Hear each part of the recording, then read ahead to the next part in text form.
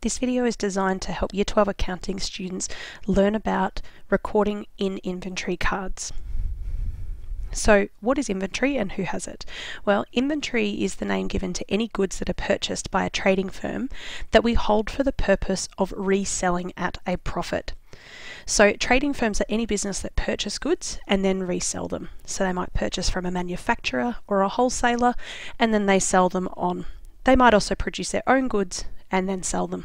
An example of this would be a store like Bunnings. Their inventory would include many different items, in fact, tens of thousands, but might include things like tools, construction materials, plants, gardening supplies, even things like playground equipment uh, is all part of the inventory of Bunnings. So, why is inventory important? Inventory is the main source of revenue for trading firms. So, in other words, if we don't have inventory, we have nothing to sell. This is why it is usually one of the largest assets of a trading firm. You know, you, they're going to have things like premises, maybe vehicles, but they're also going to have lots of stock or inventory. It's also really important because it's one of our most vulnerable assets. And what we mean by that is it can be easily damaged, stolen, or lost. So it's really important we have good practices and strategies to manage our inventory effectively. Inventory in the general ledger. Um, the general ledger account for inventory is very complex. It's one of the largest accounts with regards to the number of different kinds or possibilities of transactions. And you can see that from the um, screenshot on the right of, um, of my page here it's really important that we know how to read these transactions so you know what to expect to see in there. This will become really important in uh, Unit 4 when we start to look at things like account reconstruction because you can see from the transactions over here that we've got many, many different transactions. So we've got four different kinds of transactions on the debit side and we've got one, two, three, four um, five if you include the balance on the credit side. So quite an extensive uh, series of transactions. So what would be a good practice now is if you wanted to pause the video, you would be able to then use these little annotations next to each of them and try to annotate this uh, screenshot for yourself. So for example, I've got here that my first annotation would be for the opening balance. I can tell that because of the cross-reference balance, the fact that it occurs on August 1st, and the fact that it's on the debit side of an asset account. So if you'd like to have a go at this activity, I suggest now that you pause, and then once you're ready, you can click play and the solutions will become available on the screen. So for those that are continuing on, our solutions are down here. So this is a good opportunity to press pause, check your responses, and then you can go through and have a look at the different kinds of transactions in this ledger. So how do we account for inventory? Well, we use inventory cards and you would have seen these in Unit 1 and 2 or Year 11 accounting. So most trading firms carry a really high number of inventory items. Every single item of inventory will have its own inventory card. And the reason why we do this is because it's vital that we have really detailed information about the movement of our inventory. So an inventory card is what we call a subsidiary record. Subsidiary just means like secondary or it sits underneath the main records. Our main records being journals and ledgers. This accounting record shows the transactions for a particular line of inventory and the movements in and out. So you can see here from this inventory card that this is just for plant pot terracotta 60 centimetres, so very specific. In the details section, this is where we record the source document that evidences the transaction. So you can see here I've got an invoice, a credit note, and a receipt. Anything that happens in the in column is where transactions are involving inventory coming into the business or an increase in inventory. In the out column, this is where we're going to have decreases of inventory or inventory going out of the business. And the balance column is updated after each transaction, and that's a running total of the inventory levels. This is particularly important because this helps us to know how to do things like reorder inventory when we're running low. So we're going to have a look at six different examples of items uh, and transactions to be recorded in the same inventory card. So what we've got here is we've got an inventory card for Easy Grow Daisy Kits. Now normally this is going to be pre-filled for you but I'll just pop it in here. So Easy Grow Daisy Kits and we would also have in here information about where it's stored. So let's say that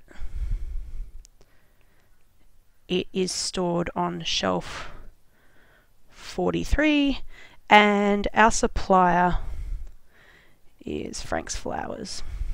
So that would be pre-filled um, for you. So transaction number one, we've got here,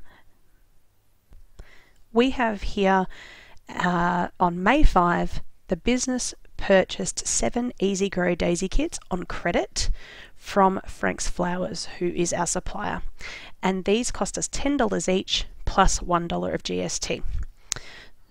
So on May 5, in the details section, we're going to put our source document, which is invoice 213. And because we've purchased these items, they're coming into our business. So I'm going to record that we had seven Each of them were $10 because we only record the value of inventory. We don't include GST in here, which is 70. I then need to update my balance. So I had three at May 1st. I now have seven more.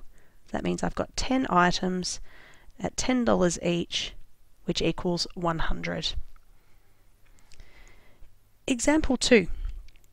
So on the 7th of May, Nana's Nursery returned three kits to Frank's Flowers. The reason why we returned them was because they were damaged and we received a credit. So on May 7, we have our source document, which is credit note 12. And because we've returned these to the supplier, that means that they are going out of our business. So I'm going to put 3 in the quantity column at 10, which is 30. And once again, I'm going to update my balance, which is now 7 at $10 with a total of 70.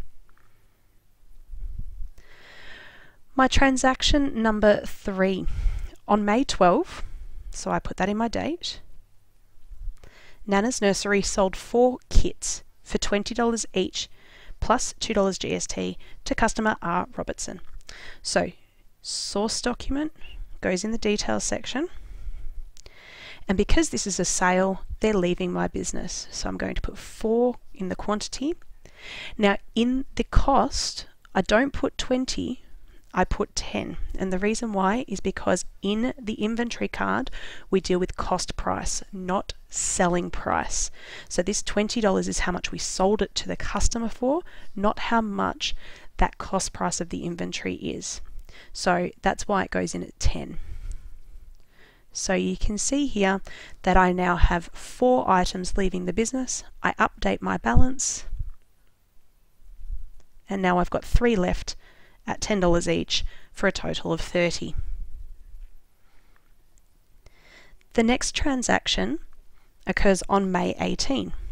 On May 18, R. Robertson returned one kit due to over ordering of items. Nana's Nursery, so our business, issued a credit note 15 for $20 plus $2 GST. So our source document is credit note 15. This is a sales return. In fact, it's related to the sale from May 12. So with this one here, because that item is coming back into our business, it's going in the in column and once again, we record at cost price. So that's why I've put the cost at being 10. I update my balance and now I have four items in my inventory balance. On May 22nd,